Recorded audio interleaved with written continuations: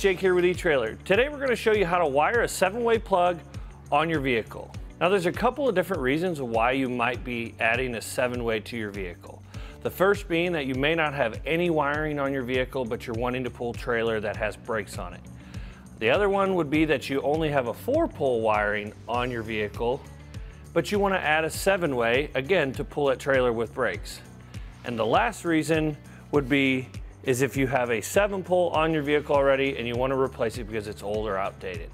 Now the functions on your seven pole are going to start out with the standard four pole connections, which is the ground, the running lamps, the left stop and turn, and the right stop and turn. And then the three additional functions that you're going to get with the seven pole are going to be your electric brakes, your backup lamps, and your 12 volt line. Now the first thing you need to do is choose the right seven way for you. If you have a pre-existing four pole or you're going to install a four pole, um, this kit that has a four pole harness on it might be better because all you're gonna have to do to make four of your connections is just plug in your four pole and then you'll have the four pole at the end already.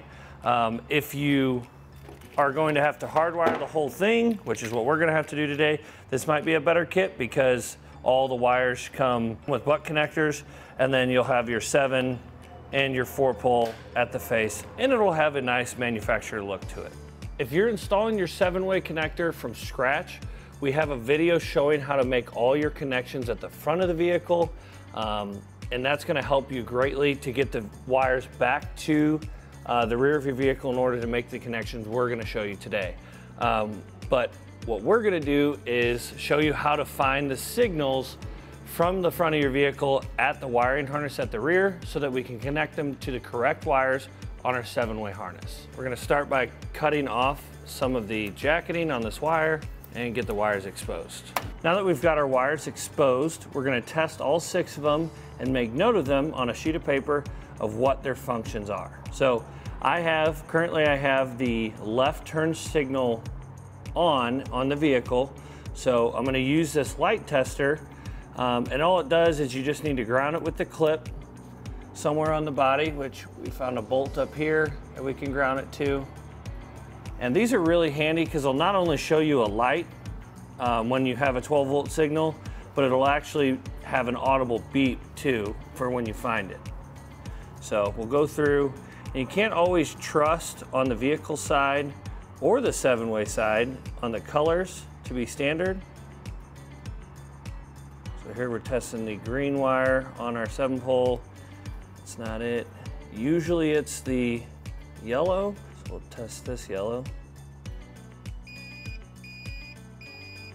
So you can hear there, that's our left turn signal that is sending power back to this wire. So we'll go ahead and mark the brighter of the two yellows down on a sheet of paper as our left turn signal.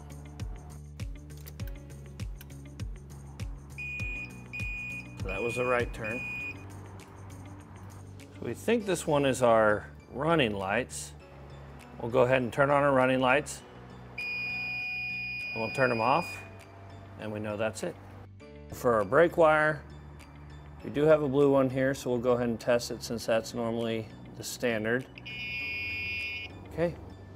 The only two wires we have left to test is our large white wire, and then we have a black wire going into the center of our seven pole. So we do know that our large white wire is also connected up here on the frame with a self-tapping screw. So we know that one's gonna be our ground, which leaves our center pin to be our reverse lights.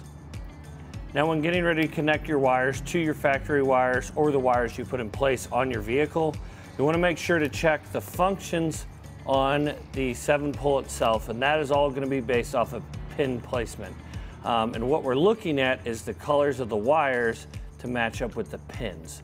Um, and I know for a fact that on these two wiring harnesses, they're different. On this wiring harness we have here, we have two yellow wires, which is very confusing, but our larger yellow wire is gonna go to the center pin, which is our reverse lights, and our smaller yellow wire is gonna go to our left turn signal and stop signal, which is normal.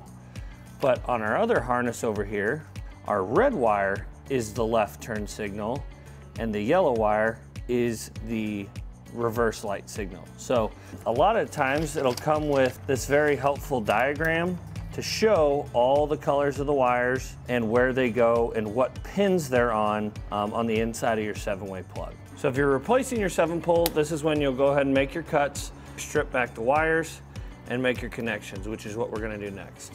So now with all our wires stripped back, we're gonna put on our butt connectors. I highly recommend using heat shrink butt connectors because these are gonna be outside the vehicle, exposed to the elements. So these really do help a lot with the corrosion and uh, keeping moisture out of the connection.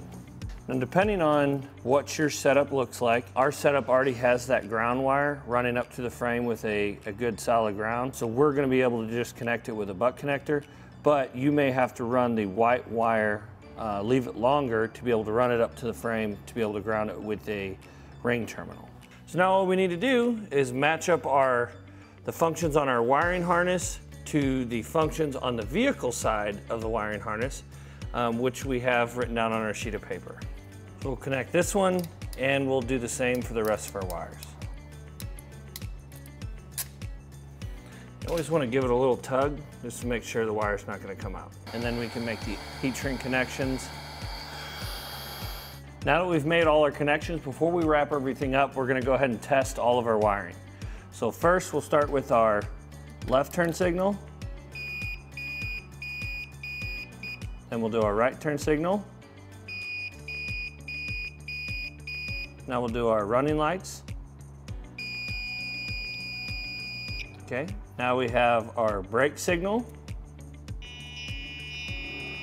So when you hear that noise, it's just because there's low power being sent to the brake controller itself. Now we'll test out our 12 volt power, which is up here, and that'll be hot all the time without us doing anything as soon as we turn the key ignition on. Now we'll do test out our reverse lights. And while doing all of this, we have somebody in the driver's seat changing all these different functions. And then obviously our ground is working because otherwise none of these other functions would work. Now all we need to do is clean up our wiring and what we're gonna do is we're just gonna throw some electrical tape around these butt connectors to keep them all tied together.